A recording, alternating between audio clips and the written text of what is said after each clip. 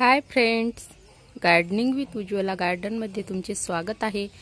आणि पाव पाऊस खूप झालेला आहे आणि पावसामुळे जे हे कोलियस आहे याची खूप सुंदर असे हे पानं झालेले आहेत. खूप डार्क असा याच्यावर याच्या पानावर कलर आलेला आहे आणि त्याला फुलंसुद्धा आता पकडत आहेत. खूप सुंदर असं हे प्लांट आहे आणि याची काहीच काळजी न करता हे आपल्या गार्डनमध्ये सहजपणे राहू शकता आणि खूप सारे प्लांट आपण याच्यापासून तयार करू शकतो.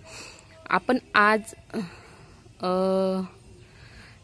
काही ज्या मी कटिंग्स लावल्या होत्या त्याच आपण आज मी दुसऱ्या मोठ्या पॉटमध्ये लावून घेणार आहे. बघू शकता इकडे मी हे वेस्ट पट पडलेला जो आपल्याकडे पाणी पिण्यासाठी माठा असतो त्याचा मी उपयोग घेतलेला आहे. त्याच्यामध्ये मी आता इथे जी ही गुलाब दिसत आहे तुम्हाला मी इथे या छोट्याशा कुंडीमध्ये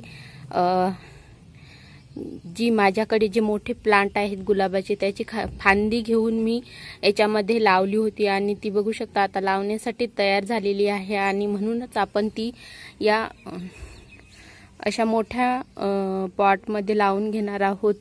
मी याच्यामध्ये जी माती तयार केलेली आहे त्याच्यामध्ये मी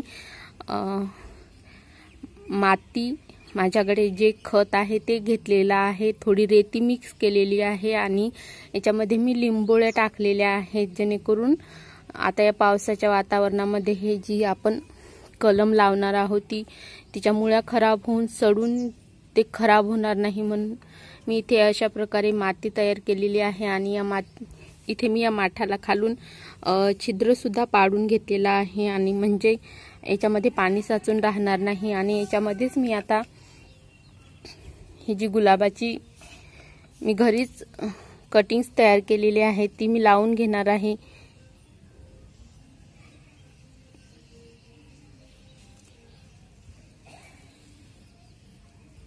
बघू शकता किती छान असे याला रूट आलेले आहेत आणि छान असे हे प्लांट लावण्यासाठी तयार झालेला आहे म्हणून मी ते आता इथे या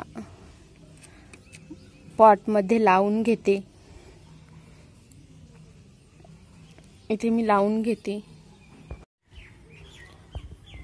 अशा प्रकारे मी याच्यामध्ये हे जे गुलाबाचं प्लांट आहे ते मी लावून घेतलेलं आहे.